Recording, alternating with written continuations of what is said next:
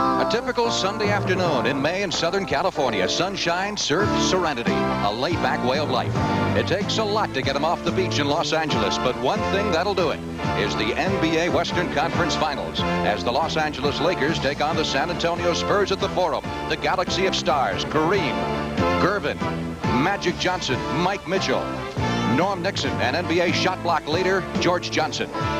One-time Laker assistant Stan Albeck has won two division titles in as many years with the Spurs and is the only Western Conference coach with a season advantage over the Lakers. His main man is the Iceman, George Gervin, the NBA's leading scorer, who averaged 32 points per game. The Iceman cometh, and the Iceman scoreth, almost at will.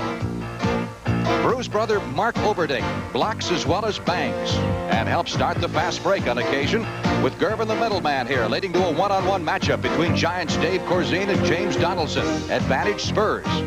Corzine has had remarkable success with Jabbar this year and had a strong Seattle series.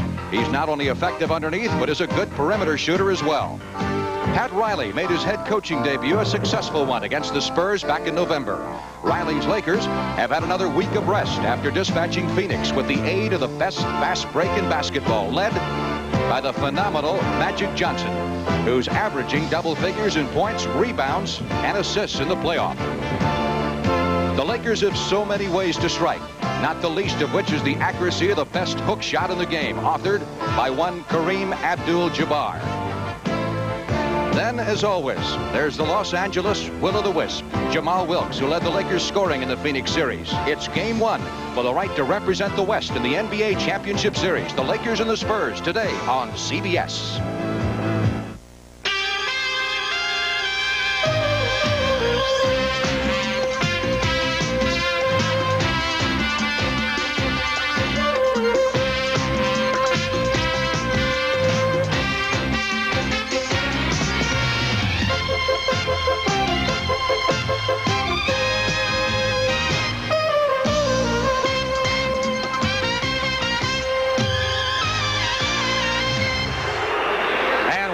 Forum in Los Angeles. Game one of the best of seven. The Spurs and the Los Angeles Lakers. Hi, everybody. I'm Frank Glieber, and this should be a great series. Both teams certainly well rested. The Spurs knocking off Seattle in five games, and of course, Los Angeles racing through Phoenix. With me is my main man once again, Hubie Brown. And Hubie, statistically, this looks like a pretty even matchup. Well, uh, in the five games that they played one another this year, they both averaged 110 for the LA 114, San Antonio 113. In the all-important rebounding, San Antonio's first in the league, Los Angeles is second.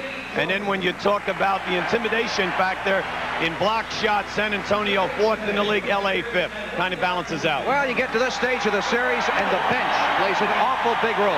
Who's got the edge there? Well, I think it's a standoff because in the Seattle series for San Antonio, Bratz at the guard position, Corzine and Banks up front all came in in double figures and really did a good job defensively. For LA, we have Cooper and we have McAdoo who did it, but they need it from Landsberger up front in this series. If there is an edge, it may be in playoff experience. The Lakers have gone this far in the playoffs 14 times.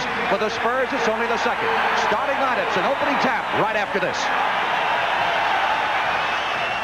The NBA on CBS. Today's playoff game is sponsored by the Miller Brewing Company, brewers of Miller High Life. If you've got the time, we've got the beer.